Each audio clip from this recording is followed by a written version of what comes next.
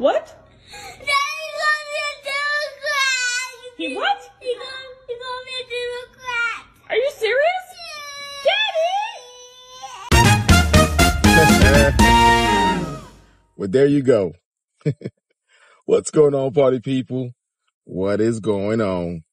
It's your ride share extraordinaire, your super duper Uber drivers here, guys. Thank you, thank you. You guys already know the deal. Before you hop in my ride, do me a quick favor. Hit the like. Hit that subscribe. For a favor. Come on, let's do this. Hop on in. Buckle in. And let's go. Yeah! Okay, okay, party people, welcome back. And if you're new to my channel, thank you for hitting that subscribe button. All right, Ken folks, what are we talking about today? Man, oh man. So, Fani Willis, it's finally over.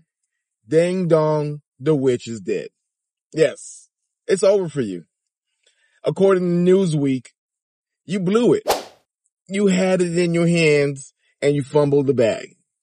Yes. Fani Willis, sit your ass down somewhere. Okay.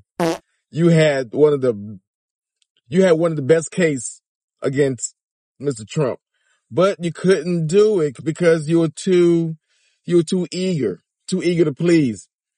You had this little attitude about you that I know what's going on. You had the, the White House backing you up. You had Merrick Garland backing you up. So you had you walking around like you was untouchable.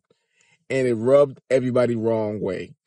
You went out, all these single men out here, you couldn't find one guy to lay up with. You had to find somebody that worked with you. Workplace romances are as American as apple pie. It happens to everyone. And when you get caught, you know, you walk around like you big badass out here that nobody could touch you. No, no, no. Look, I object to you getting records. You've been intrusive into people's personal lives. You're confused. You think I'm on trial. These people are on trial for trying to steal an election in 2020. I'm not on trial, no matter how hard you try to put me on trial. So now you have all the free time in the world. You go to Jamaica, you go to Mexico, Bermuda, you go to Africa. You have all the free time now. You can do all the travel with Nathan Wade. Okay. You could be as drunk as you want, get as loose on the goose as you want because now you have all this free time. Okay. Fulton County District Attorney Fani Willis had been promising that, quote, the train is coming. She had wanted a televised trial to start on August 4th. But that is not happening. A Georgia appeals court putting a stop to the trial while a panel of judges decides whether Willis should be disqualified. The Court of Appeals has denied it. You're going to get disqualified.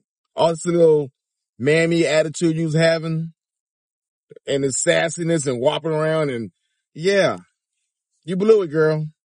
Is not even scheduled to hear arguments on that part of it until October, just weeks before Election Day, which makes it almost certain that there will not be a trial before in person voters head to the polls in November. Now, guys, you'll remember when I first started doing content creator, Fani Willis was in my sights because I see the way she was handling Young Thug Rico case, and I knew that she was going to blow it.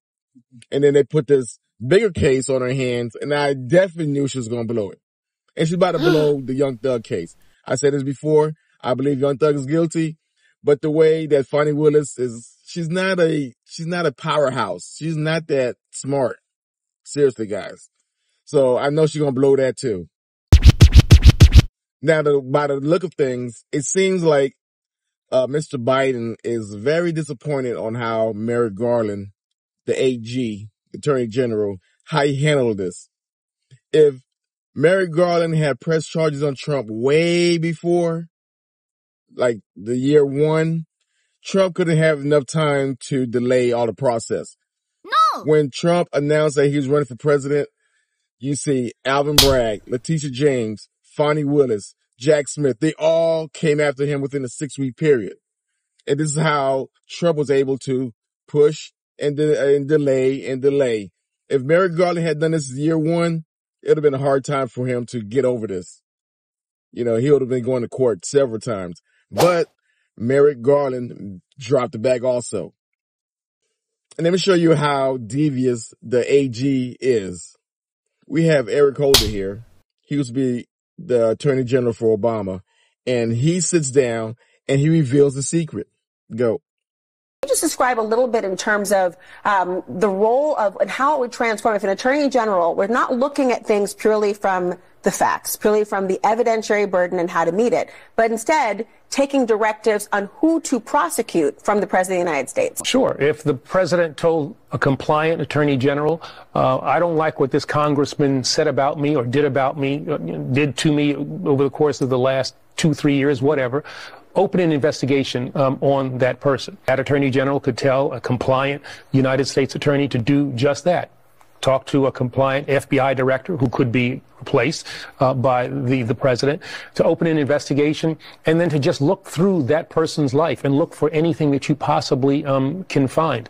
Um, and uh, who's to say what you find in any person's life that might run afoul uh, of the law, and even beyond that, the fact, the mere fact of an investigation of a person who is a public figure can be reputation ruining, can be politically damaging, not even if you find anything, just the, the fact that the investigation itself um, exists. And if you've got the full weight of the Justice Department, the full weight of the presidency, the full weight of the FBI um, focusing on somebody like that, um, that can be extremely damaging to not only that person individually, but to our democracy writ large. The accusation, just the mere accusation alone, is damaging and that's all they were doing. You can't tell me that Obama and Eric Holder did not perfect this.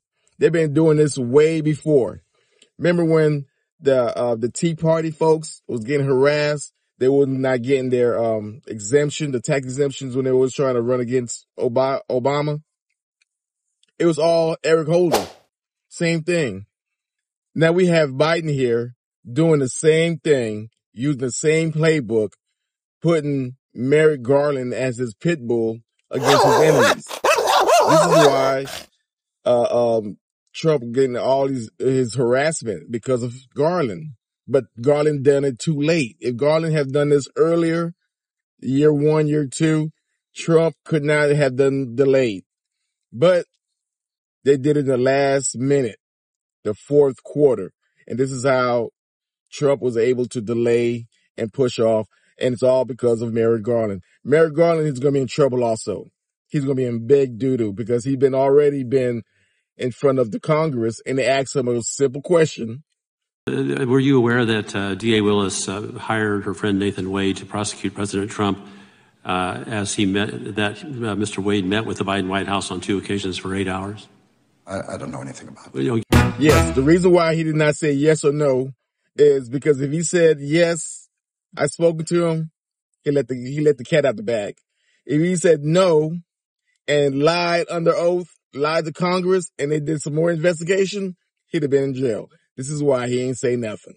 He just kicked it down the road.